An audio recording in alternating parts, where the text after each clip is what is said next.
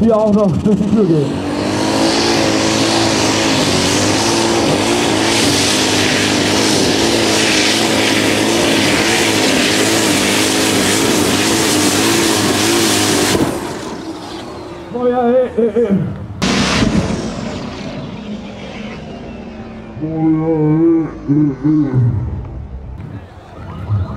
So ein Feuerball, Junge!